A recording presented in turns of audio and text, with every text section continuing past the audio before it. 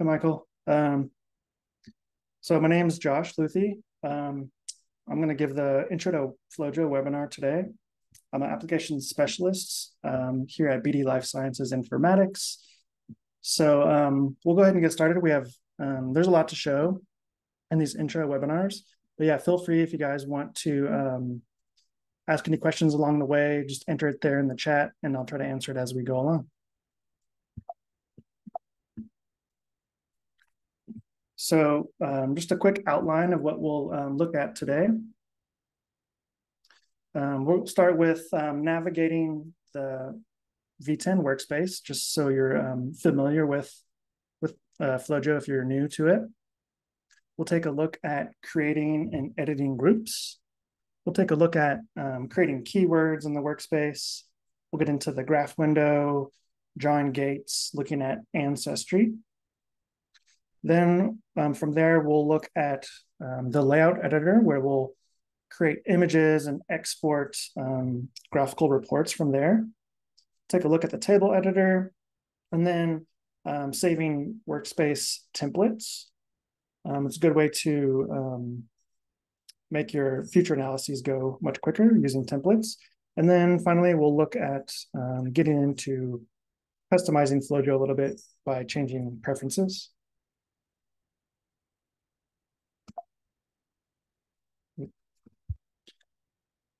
So here's the layout of uh, a FlowJo workspace.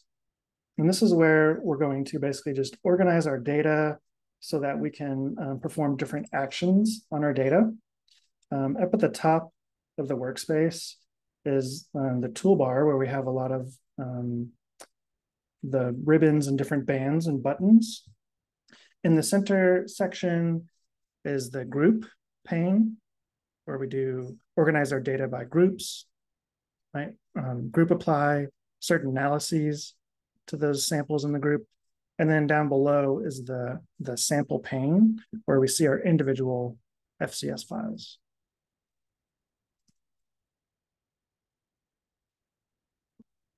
Um, at the top of the workspace, again, is the, the action toolbar. And this is where we're going to do most of our um, navigation through the workspace. And um, we have tabs across the top. And so going through the different tabs, you'll see different um, ribbons appear here. And within the ribbons are different bands. So like there's a groups band, population, statistics, and the different bands group together similar um, actions or buttons. Um, here, this is the application button. So here's a, a good shortcut to like open up previously um, saved analyses or um, saving your workspace, quitting FlowJo. You can get all to that through this application button. Over here on the right, top right corner is um, the heart icon that will get to preferences. We'll, we'll take a look at that a little bit later on in the live demo, but that's where you can customize parts of FlowJo. And then also I want to point out this little ribbon button here too gets into um, ribbon configuration. So if you want to customize like the layout here and the ribbons, um, you can do that through this customize ribbon button right here. One of the first things we're going to do with an analysis is obviously load in some data. And there's um, different ways to do that there's um, you can click these add samples button and from there just navigate to where you might have your data stored. Or my kind of go-to method is if I already have my data organized in a folder just drag and drop from you know your file browser into the workspace and that'll load in all the data into your workspace and here we can see all the samples that we loaded and then some groups up above.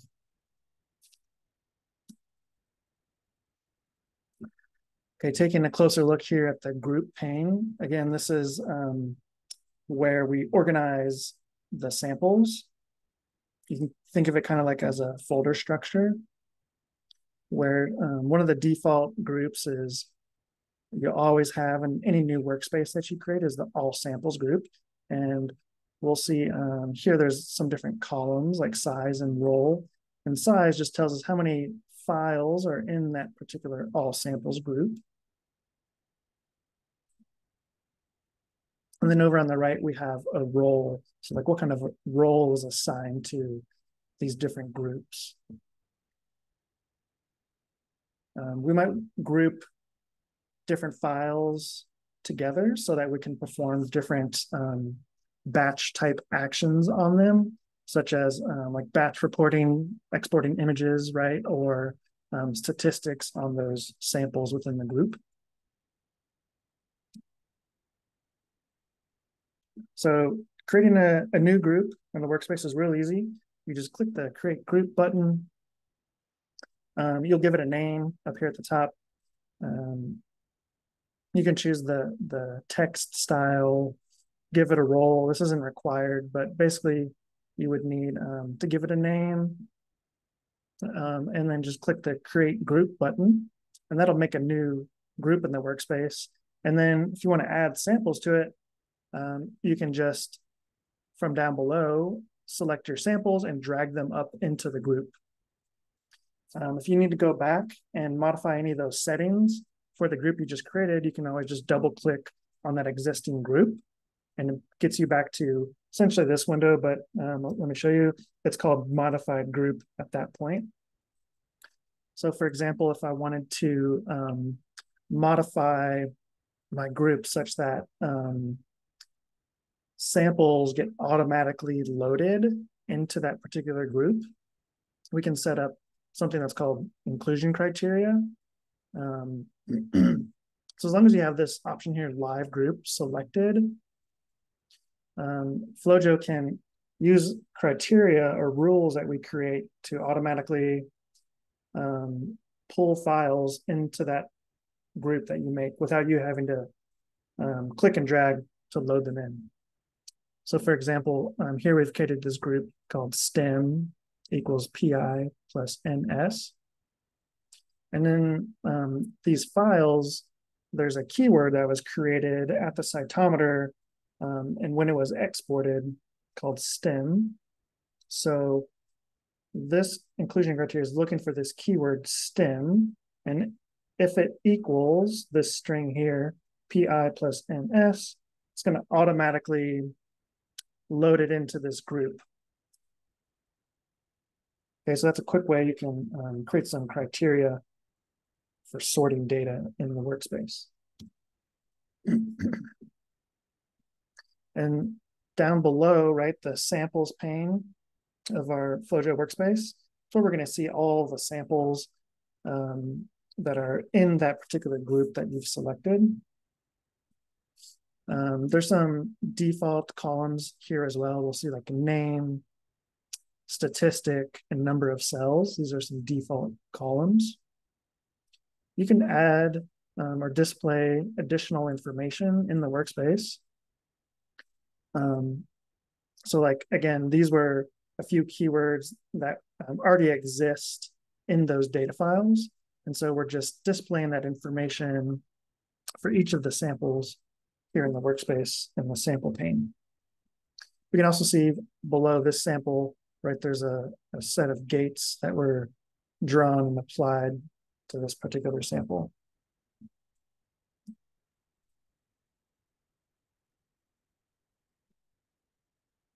So again, some keywords. Um, it's basically um, like metadata that we might want to um, add either to the workspace or to our samples.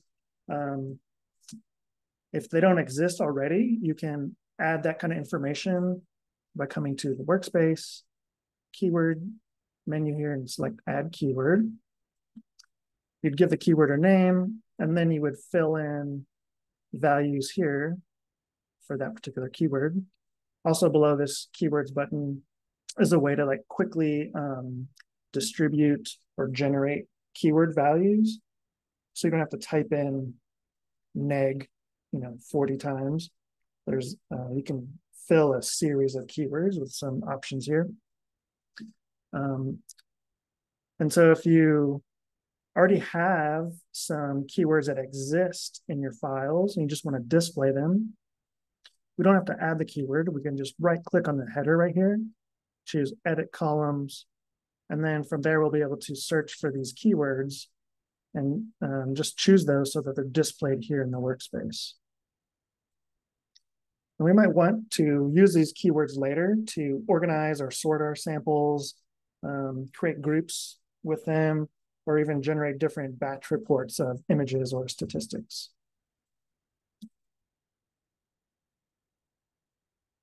Um, here's our graph window, right? This is where we're going to interact a lot with um, our data files. um, just so you're familiar with the layout of the graph window, up at the top of the graph window is where we have um, different gating tools. Okay, we have some undo and redo buttons, and then there's even a way to like navigate up and down your gating hierarchy or um, up or down the um, samples in your particular group. On either axis of the graph window, we see um, parameter selectors, so we can, from here, choose different parameters to display in our graph. There's a tertiary parameter. If we choose this option here, color axis, we can color map the um, MFI or expression of a third parameter on top of two that we're already displaying in the workspace, or sorry, in the graph window. Um, there's additional menus down here that can be expanded. Uh, here's options, right? If you want to choose a different type of plot to look at, you can do that here.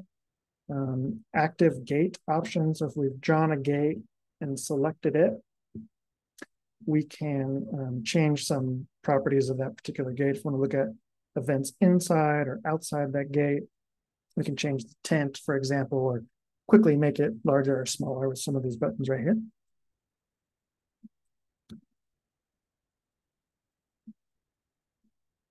So again, up at the top are different gating tools, right? So um, for example, we have like a rectangle gate here, um, quad gates, ellipse gates, um, polygons, auto contour gates. Um, so any of these gates that you draw um, once you draw them, you'll get um, a frequency apparent statistic displayed as well right there in the graph window. Anytime you draw a gate, you can um, modify it, move it around, delete it. So if you draw it initially and it's not maybe in the in the perfect spot, um, don't worry, you can select that gate, move it around, um, select just a specific vertex and stretch it, resize the gate as you need it. Um, so pretty simple to do, and we'll take a closer look again at that um, in the live demo. Once you've drawn a gate, now you'll double click on and it'll open a new graph window and it'll show us just those events that were within the gate we just drew. And that's how we kind of construct this gating hierarchy that we see here. Um, as you begin to build this gating hierarchy, you'll see these arrows here. So any of these, um, you can expand or collapse them. Um, so it'll make navigating through your, your sample pane a little easier. Um, a lot of the functionality in FlowJo is with drag and drop. So um, if we've drawn some gates here, you can select these and apply them to other samples by um, drag and drop.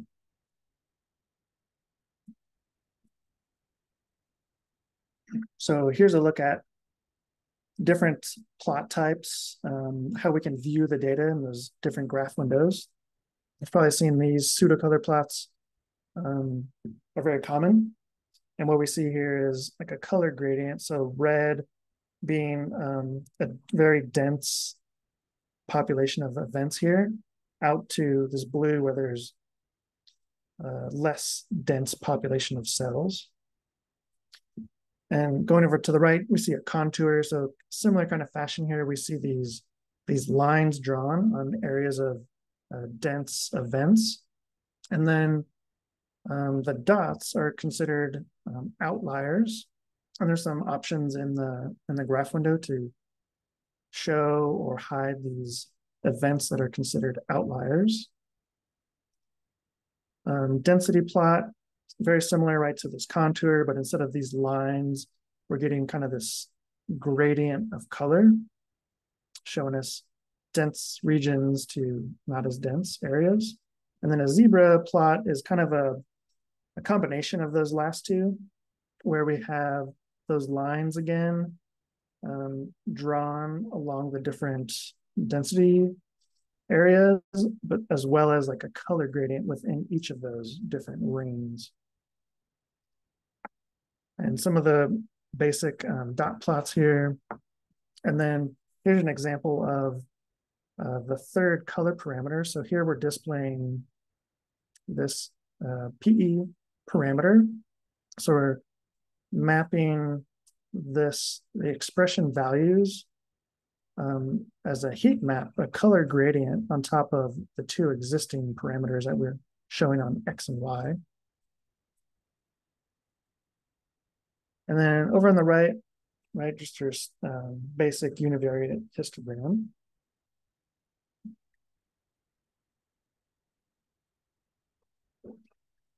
Um, if it's your first time loading in data from your cytometer into FlowJo, um, you'll want to be familiar with how to visually um, adjust the transformation of the data in the graph window. And, and to do that, you just, from either axis here, you can get to this transform button, and then we'll choose customize axis. And then you'll see this um, transformation window appear. And here what we're seeing is all events, so ungated events, even if maybe you've initiated this transformation change from a gated population, what we're showing here in this transform window is basically all or ungated events right here. Um, and then on the right is a list of parameters.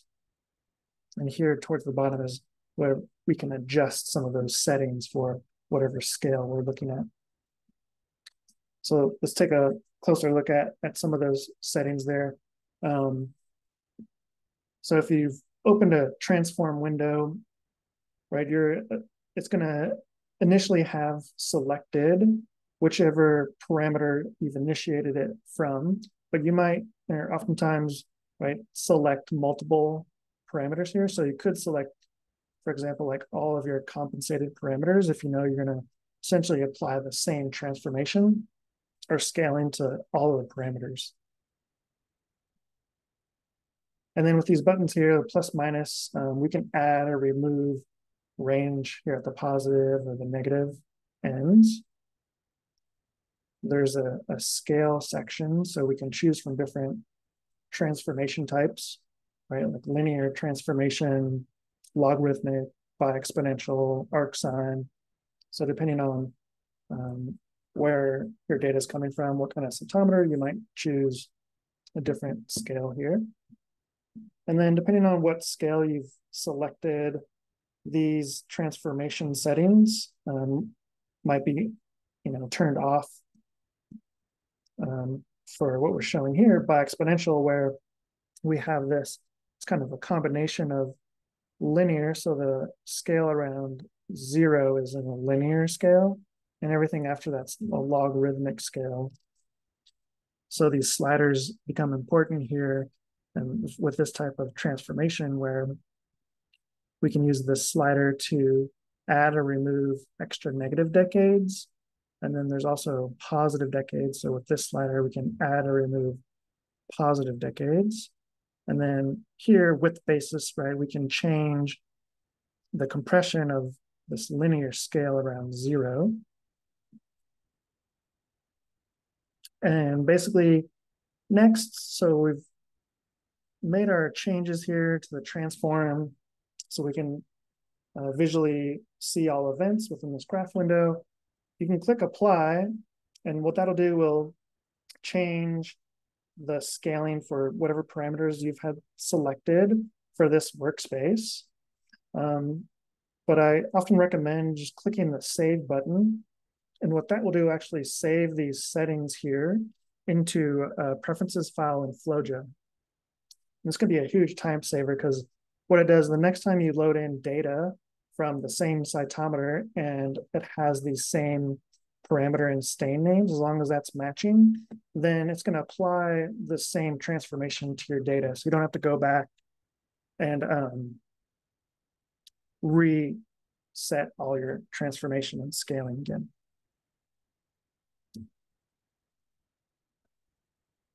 And here's just some examples of different transformations, right?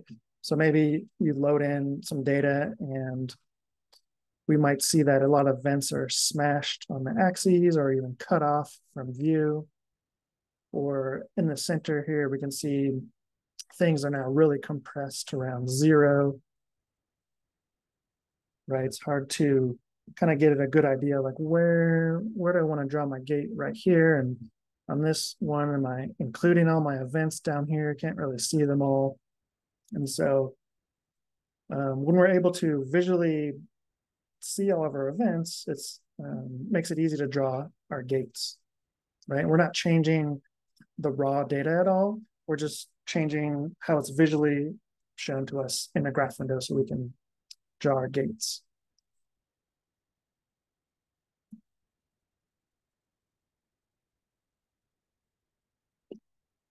And so here below our first sample, we've gone through and created our gating hierarchy, right? And next, um, what we want to do is instead of going to the next sample and continue to draw gates over and over, we can select all those gates, drag and drop, and apply them to the group. And what that'll do, will distribute that whole gating hierarchy across the rest of the samples in the group. Um, and what you'll notice is like the this group here called master gates is the text is red. And when you group apply gates to a group, they'll take on that same coloring text-wise here in, below your samples as well. Um, and so that's a quick visual just to see that these are all group applied um, and that they're all the same uh, identical gates applied across all your samples. If you were to come down now to like any of these gates below an individual sample and make an edit, maybe like reposition the gate, you would see this color would change from red and would go back to the default non-bold and just black text, indicating that it's been changed or modified from what was originally a group applied gate. Um, in some cases, though, you know, maybe you don't want to um, adjust one sample, one sample's gate that's been group applied and um, have to repeat that for other samples. So um, you could double click on this group here and get back to this modify group pane. And what you can do is turn on synchronized gates. And what that will do um, is now if I were to make a change to one of the gates below one of my samples, it would distribute that change across all the samples in that group. So now they're all synchronized. And if I move one, it's going to move for all my other samples. Um, sometimes though, you also maybe you'd want to delete um, any gates or you no longer want them group applied. Um, and so you can do that from going up to the group pane now. You can't do it from the sample. You have to go up to the group, select that gate, you can press the delete key. And then you'll get presented with some options here, like you can um, allocate that gate just to the first sample and delete it from the rest, or you can delete it entirely, or you can delete it from the group, so it's no longer group owned, but it's still allocated and present below all your samples. So you have some options here before um, just totally deleting everything. Uh, let's see. It looks like I have one question here. Let me check this. Um, Christian asked, does um, transformation need to be done before or after compensation? Yeah, good question. Um, so yeah, you'll typically you'll do compensation first, right? And then what we're looking at, um, let me go back to this transformation window. And here, so we've already done compensation and we can tell that because the name of our parameters begin with comp dash. So all these parameter names, comp dash, these are all compensated values already. And then that's what we're going to be transforming and making um, changes visually in the graph window. And similar thing, we're going to be drawing all of our gates on compensated values. The uncompensated data is still there um, in the workspace. Um, just there's some default settings there that hide that initially from view in a graph window, but you can always um, choose to display compensated as well as uncompensated values in the graph window. Um, okay, let's, um, so with that, let's look a little bit at some live demo. So here's my um, folder and within it, I have like some other folder structures where I've kind of sorted some of my files. And so what I can do is, you know, you can drag and drop and load in files this way. Um, but if kind of like what I have here, you already have things organized in different folders, you can just drag this entire folder of data. And what it does is it kept those folders I had created and just automatically made groups for me in the workspace. So that's super handy, right? I don't have to go through and generate, click create groups and add groups and then load samples into the group. It'll just retain whatever structure you already have. Um, so notice here the default all samples group contains all my data. So there's 34 samples in it. I don't have any comp controls in this data set, so there's nothing in here, but this is another default group that's just always going to exist in your workspace. Then there's the data, and then this has 34, so it's like my all samples group. Um, so actually I can, I don't really need this data group because it's essentially the same as my all samples. So here I'm just going to press delete on my keyboard and it's going to ask, do I want to delete that group? I'll say yes. So I didn't lose anything from my workspace. I just removed that group from the workspace. If you want to remove any samples, you'll have to come to the all samples group and then delete from here. So I still have all my data and let's see if we take a look at, I'm going to double click on this group and it brings up the modify group window. And so from here, um, I can make some changes, right? So here's the name of my group. I'm going to change this color. Um, later, I'm expecting I'll want to probably create a, a template for my analysis because um, I'm going to perform similar analyses in the future and with like the same panel um, we do the same type of analysis workflow again. So instead of having to do all this work over and over, I'm going to utilize my template um, that's going to retain all my gating, and I'm just going to load in the new data into my template. And so with that, I'd want FlowJo to group my data files automatically for me into these different groups I've created. So when I have more FMO files. And the way I'm naming those is it says FMO in the in the file name. And so what I can do is look for my keyword. I'll just search here dollar sign FIL for file name.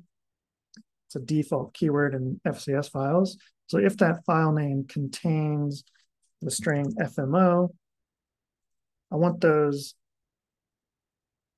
as a live group to be automatically added to that group for me. So I'll choose live group, include this criteria, and just say apply changes. And similar thing, I'll come to my samples group, change that color, Um, here, I'm to also use that file name keyword. This time, if it contains LD for lab donor, I want those to get added to this group called samples. Apply changes and close. Okay, so next here I can double click to, move this control bar for zoom. Okay, so here's our graph window. And so by default, it's just showing us forward by side scatter. There's some, we can expand these options here, we can take a look at different um, plot types. So here's like contour plot. And right now there's no outliers shown. If I turn this on, we'll see those dots reappear. Um, we can look at density plots, zebra plots, um, here's a, a dot plot. So with dot plots, you can change like how many dots are, are drawn here in the graph window. So by default, there's a, a value of 8,000 dots to draw for a dot plot. Um, and we can change that. And so the way this works is, so values one through 100 are interpreted as a percentage. So if I put in one here, it's going to display 1% of dots. If I say 50, it's going to be 50%. If I say 100, 100%, it's going to draw all 250,000 dots.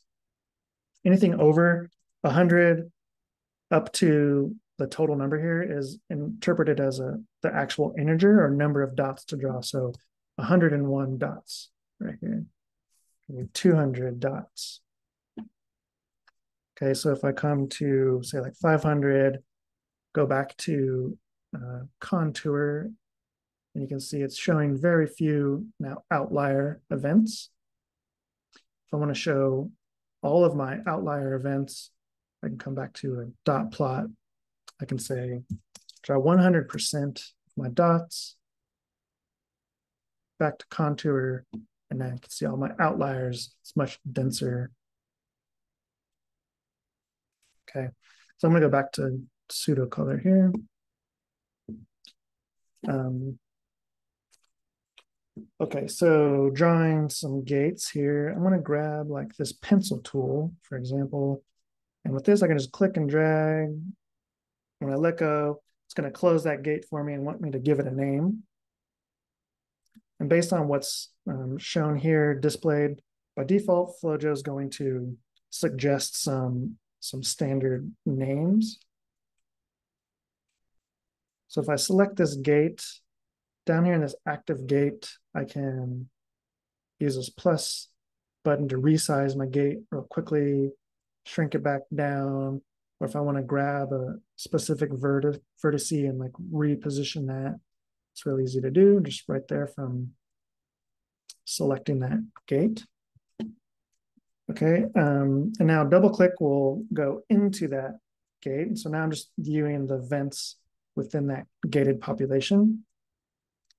So here I'll switch to forward scatter height. Um, draw polygon gate here. And here I'm going to draw it pretty tight along the edge there. And with this, I can double click to close the gate. This is single cells or singlets. So what I'm doing here is removing debris or doublets. Okay, again, double click to get into that gate. And here I have some live dead stain. So gate on that next. Let's look at the auto gate tool. And so with this, it kind of traces along the um, density population here. So I'll just bring it out to the, as far as it'll go, and click to draw a gate, call it live. And so here's, as I mentioned, like a list of some default gate names. If you find yourself naming a population consistently the same thing, you can um, you can save. You see here, I already have live saved, but if it's a new name, I can click plus to save that as a as a gate. Okay.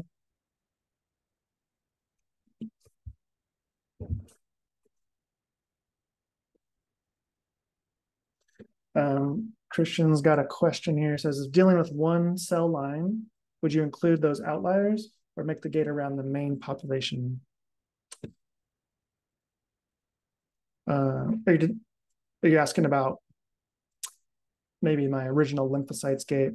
Yeah, um, for, yeah, it's totally possible. Yeah, that you might draw um, like a really big gate. So like maybe you have um, other cell populations here. So you might want to draw and include something like this. You might have multiple different cell types in here.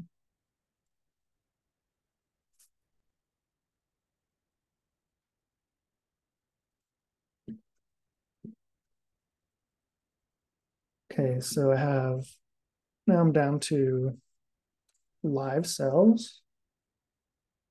All right, next I'll look, I'll go CD3 versus HLA-DR.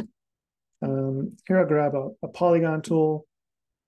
So here I, I click and then it wants me to click again to set another vertice for my gate. And you can see it just kind of go follow my cursor around. But if I hold the shift key, it'll snap to like 45 or 90 degree line. So I can draw a really nice straight gates. I can draw it on a 45 here, come down, and double click to close the gate.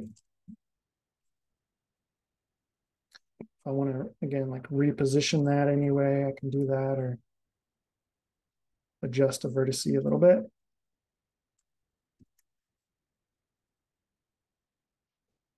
Now let's look at CD4 versus CD8. I can grab a quadrant gate. I'll set that right there. Okay, so that's a good start to a gating hierarchy. Um, so here's a little shortcut. I like to go to File, and I can say close all graph windows. Just shut all those down. Okay, and so next, what I can do is select all these gates.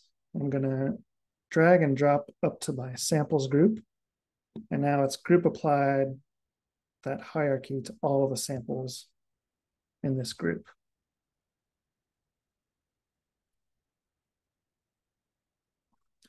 Okay. Back to the slides real quick. Um, all right, so we have uh, some gates, and often what we want to do next is now um, generate some statistics on some of those gated populations. So you can easily do that in FlowJo just from the workspace tab, add statistic, and you'll get this window pop up where you can choose your different statistics you want to add.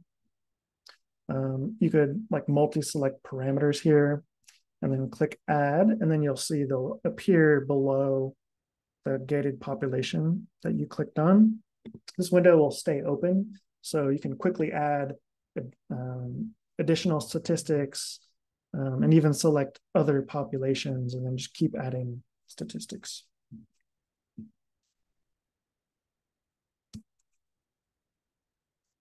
Uh, just real quick, there's Boolean gates. So um, maybe you want to create um, all possible combinations for particular markers. Uh, we have a tool for that, create combination gates. Um, so here we're selecting three positive populations, creating the combo gates here. And you click OK, you'll get all these combination of those three different gates.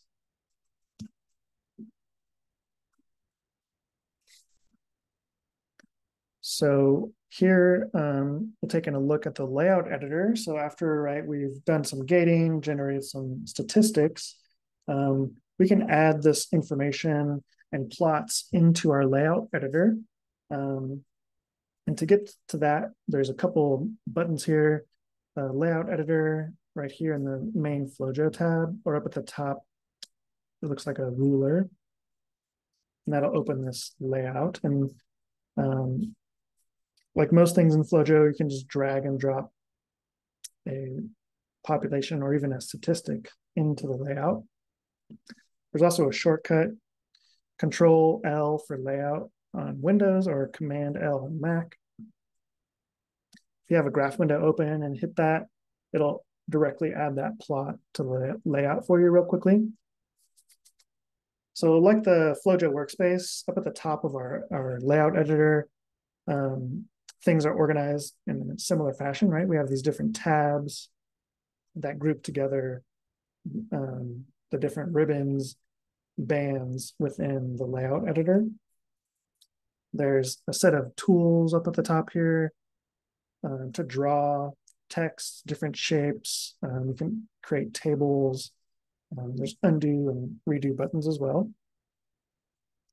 And then similar thing, you can get to the preferences up here or even customize what kind of ribbons and bands actions we have here for different tabs.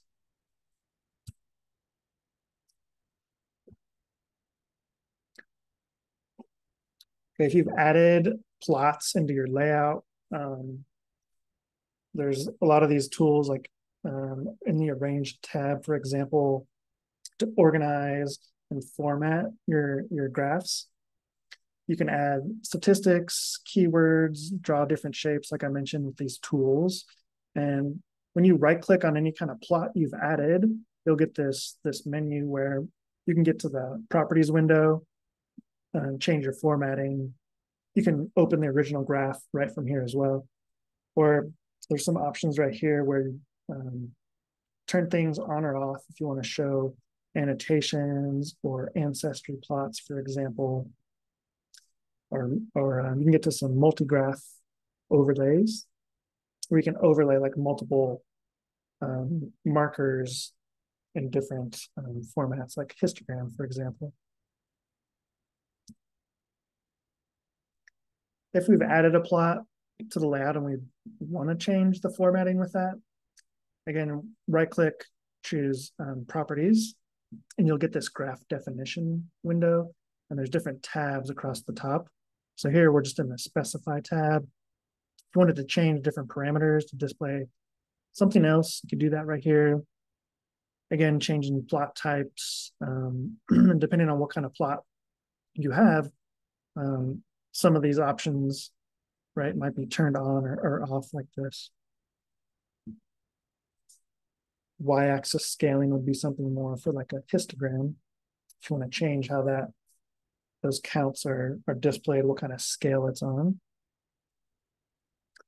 Um, click apply apply any changes you made, and then OK will close that graph definition window.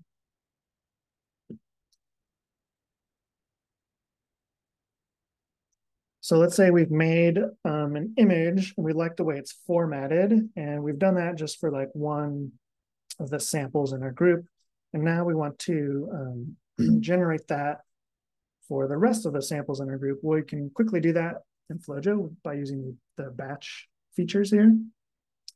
So um, you just from the top here, this iteration band, we need to tell the layout like which group are we looking at?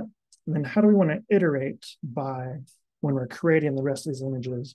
And here we're going to iterate by sample. So meaning we're going to take the same image, the same gate, and create that for the rest of the samples in this all stain group. And then over to the right, there's batch settings, like where do you want this to go, right? There's different areas where you can batch to, different formattings like rows, columns. Um, if you want things on separate pages. Once we've made all those settings, we click create batch report. And then we'll get here a, a batched layout. That same plot across all those samples. Right. And then from here, if we wanted to, we could export an image um, that shows all that. And there's different formats, right? PNG, JPEGs, PDF, and SVG is going to get you those the highest resolution formatting. So if you're trying to generate something for a publication, you'd often use a PDF or an SVG. SVG, you can take it into other applications because they're vector graphics and you can modify it real easily.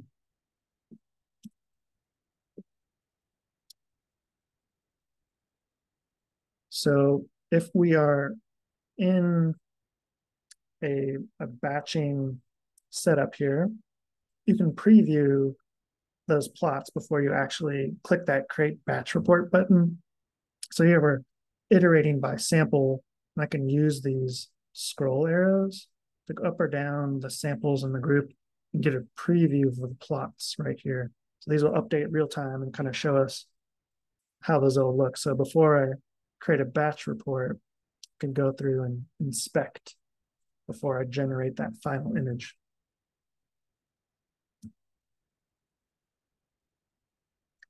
Some extra detail here. Um, again, like selecting our group, how we want to iterate by. All right, we've been talking about iterate by sample, but there's other ways, like if you wanted to um, iterate by a, a panel um, or even by different keywords, there's some options to do that. Um, there's different format or report types, um, web pages, um, PowerPoints, right? And you can obviously select where do you want that export to go. Um, I often go um, directly to like a PDF and export high resolution graphics right to a PDF file. Okay, so before we get into the table editor, let's go back um, to our workspace and let's see, I had actually, so here's this quadrant one or CD8 positive events. And here I can click this green up arrow to display the, the parent population or parent gates that I drew. So I'm in quad one right here. Um, and I have um, extra gates I wanted to draw here first. So I'm looking for some positive signal here.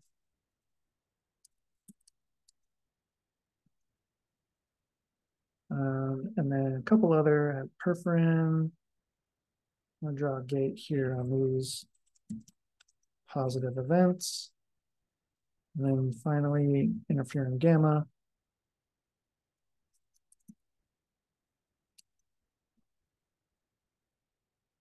Okay, so I have those. And so here, I just drew those gates below my first sample. And so I could select all these and like drag and drop up to the group, but there's a, a shortcut. And this is a big time saver. I can just select all these gates um, and I can right click and say copy analysis to group. And then just now group applied them to all the other samples without me having to drag it up and find that same gate in the group.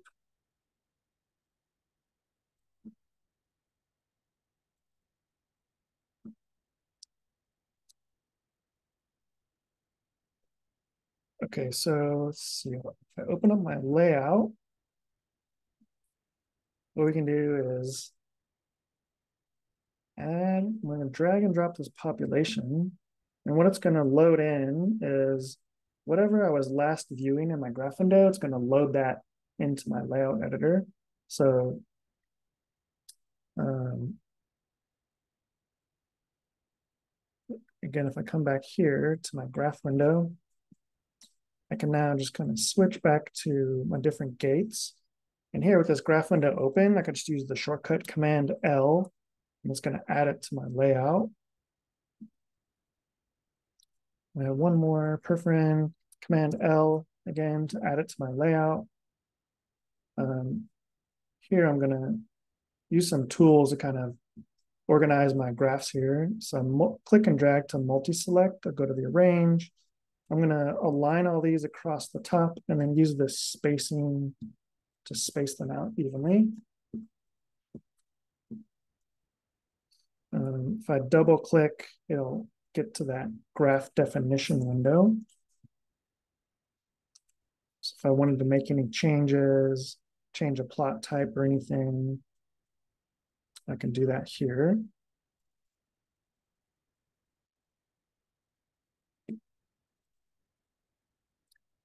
These dotted lines are page breaks, so I can come here to where these intersect and click and drag and resize my different pages. I'm try to get all these plots on there. I'm gonna, let's see here. I wanna move these down a little bit.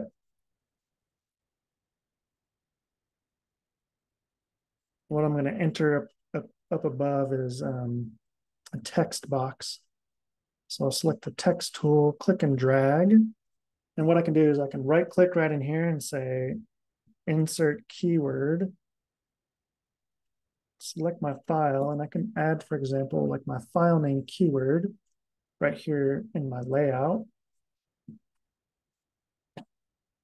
And in addition to that, I'd like to use this tool. I want to create a statistics table, and I'd like to kind of present some of that information as well. So when I use that tool, it wants me to add um, some populations to display statistics for, and then as well as additional statistics, right? There's some default ones like sample name, the subset, and count. So what I'm gonna do is select these gated pops over here in my workspace, drag them, and then um, what I can add statistics from here and go median and then choose my parameters. And then when I click OK, I'll get this new table right there in the layout.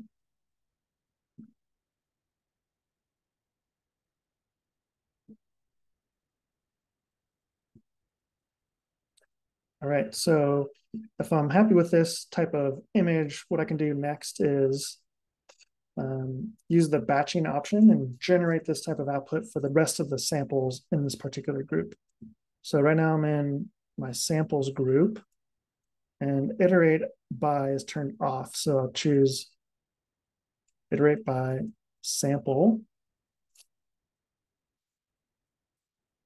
And then when I go to batch by four um, of these repeated images across four columns because I know my samples repeat. I have four different conditions for each lab donor. So I'd like each row to essentially be from one donor. And I'm just going to send this to a new layout. So I'll click create batch report. And then we'll see FlowJo will generate all those images for all my different samples. Okay, so that's batching by um, sample.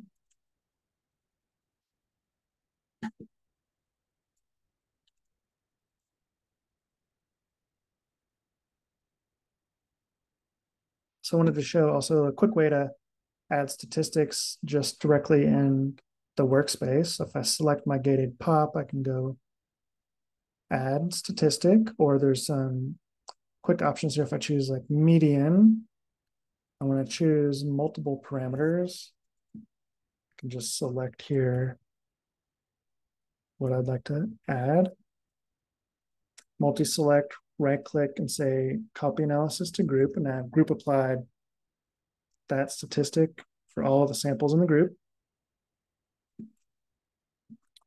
Um, and with that, um, we could make a table of statistics. So for example, I could select this parent population, the statistics, and the three subgates that I drew, and just add all that directly into my um, statistics table here. There's some features here at the top of the table editor. If I go to visualize, I can actually heat map these different um, parameters here. And so once I go to create my table, you'll see that it generates the statistics table and it's heat mapped all those um, values for my MFI across the different samplers. Once you've created a, a table in this way to display, you, you, do have some different options like how maybe you'd want to export that. Um, so you could export it in different ways here, CSV, Excel, text file. If you want to retain the formatting to where how it's colored and heat mapped, there's only a couple options that would do that. So like HTML would retain this color formatting or um, the other one is, I believe, XML. Um, or if we went directly to the layout, if we added this, you could batch this to your layout and it would retain the coloring.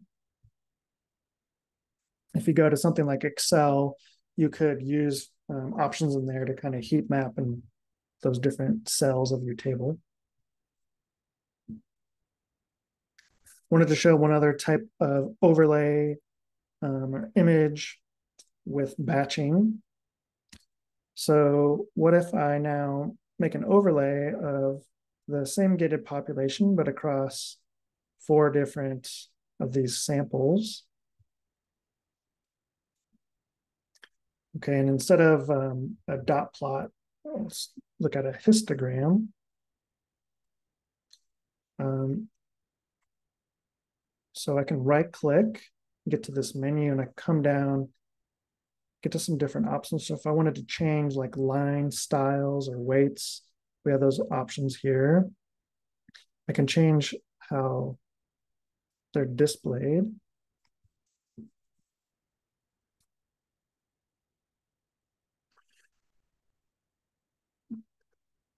Um, and notice like when we make an overlay, FlowJo's um, added a legend and then colored those different populations that we've overlaid. If you want to modify any of that, you can come directly into this legend. Uh, for example, click on this color swatch and choose a different color if you'd like. Um, and so here I've overlaid four different files from my group. And if I wanted to now generate this type of image um, by overlaying four samples at a time. I can do that using um, iteration, but instead of iterating by sample, I'm going to iterate by a panel. And what I want to set this to is a panel of four because I've overlaid four separate populations or samples. Um, and so here let's see, I'm just gonna, I want these just to go kind of straight down and in my new layout that I'm gonna create. So I'll just uh, create batch report and you'll see it's overlaid those four samples. I got all my lab donor 14s, 12, 2, and 1s.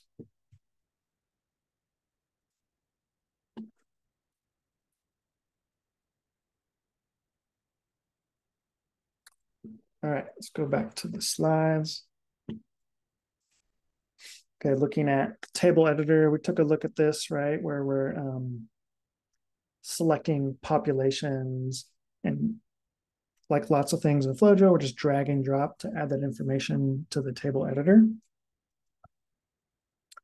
Um, again, with the table editor, like we saw in the in the layout or the workspace, things are grouped by tabs these different bands. We took a look at um, some of these tools to heat map some of these um, statistics we've added. There's additional ones like standard deviation or expected ranges that you can set in preferences in FlowJo. So to turn those on, we just go to the Visualize tab, select those rows in the table, and then toggle on that option. And like we saw, we, we generated this table just to display right there on screen with those um, columns now heat mapped.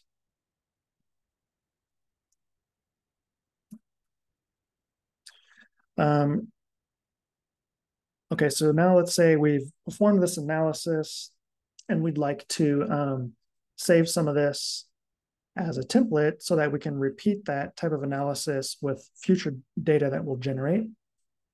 Well, to do that, you just come down File, Save As, and you choose Export as Template. And what that's going to do, it will retain all this information um, that we saved up above in our groups. So it's going to retain all this group-owned gating hierarchy that we created. Um, if we've made some layouts, um, it's going to retain some of that information. Um, the key there is to not perform any batching operations. You just want to set up your layout or even your tables before batching and then save that as a template. And then when you load in the, the data to your template, you'll go back to your layouts and then click the batch button to generate those batch reports. Um, once you get familiar with using FlowJo and use it for a little while, maybe you want to customize it a little bit. Um, there's some settings and, and preferences where you can do that. So going to the heart icon will open up this preferences window where you can change things um, like fonts, default gates, graph types to show maybe how you some default settings you want for tables or layouts. So there's lots of things to explore. I just recommend um, going through and taking a closer look at some of those settings once you're familiar with FlowJo. And you might notice in there too, there's um, diagnostics. So if you're going to get into using any plugins in the future, you'll want to come to the diagnostics section and you'll have to set some things like R path or where you've installed R because some of these plugins utilize R. Um, some of them are written in Java and, and others are in Python, but the ones that utilize R, um, you have to tell FlowJo where it can find that, that application. Um, a lot of the plugins are just downloaded from the FlowJo Exchange. Um, and with those downloaded plugins, you'll get how-to PDFs that will go over kind of the general usage of the plugin. And if there's any dependencies to install in R, perhaps it'll have some of those commands that you can enter into R. However, um, a lot of the plugins are just configured now when you run them the first time. In R, it will just go ahead and try to automatically install whatever um, dependencies might be missing.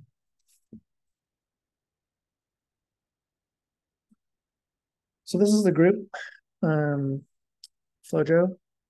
So we definitely, you know, want to hear from you guys. If you have any questions um, or need help along the way, don't hesitate to reach out. We have some good resources for you. We have online documentation for FlowJo as well as SeqGeq. Um, it's searchable documentation. There's also some shorter videos here at FlowJo University. We'll go over some basic um, workflows, quick tips, things like that. So that's a good resource as well. And of course, if you have any questions, you can reach out to our technical support team, flowjo at bd.com. There's um, not many of us there, so you'll probably um, hear it from me if you reach out to flowjo at bd. And as well, um, here's my personal if you want to send me an email directly. There's my contact email right there. So um, with that, I know we're a little bit over time, but not not by much. So if anyone has any questions um, or want to go over anything else, I'm happy to answer that now in the chat or um, show you any other slides or anything you'd like to see.